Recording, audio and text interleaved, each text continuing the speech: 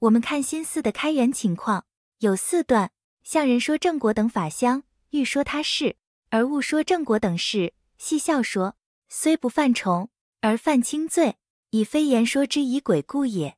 狂乱坏心。你如果是跟人家解释什么是出果、二果、三果、四果的法相，什么是念佛三昧，你在解释法相，没有说你自己正的，这个是不犯。你本来要说其他的事情。但是误说了正果，那是一时的口误，你没有欺狂之心，不犯。戏笑说你是开玩笑的，虽然不犯重，但是他犯轻罪，这叫戏论，因为他不是正常的说法仪轨。最后一个狂乱坏心，当然不犯。开元情况，我们再增加一个，诸位，你看偶益大师的五戒香经煎要，偶祖提到一个方便妄语，我们解释一下。小妄语借有两种情况是开源的。第一个，为了救拔众生的命难，比方说你到一个树林去，看到一个野鹿跑过来往东边去了，后面有一个猎人拿了刀剑要去追这个野鹿，他问你说：“哎，你有没有看到小鹿呢？”你说有，他往西边走了。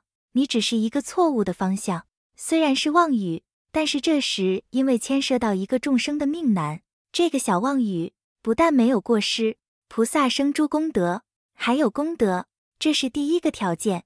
有牵涉到众生的命难。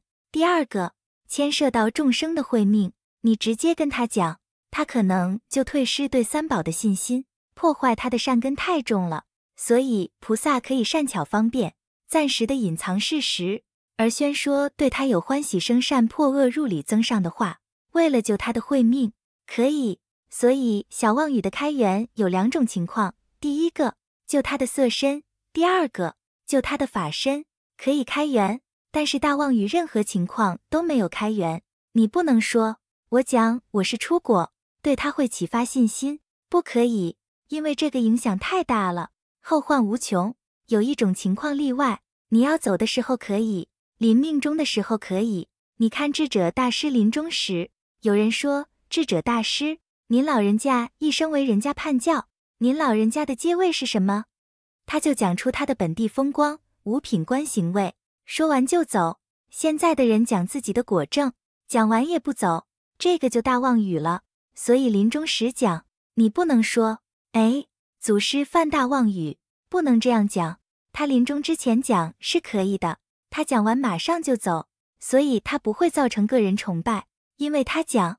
他要让后世知道他说的法是正确的，因为他是有果证的，他的着眼点也是在护这个法。但他人走了，所以你就没有个人崇拜的问题。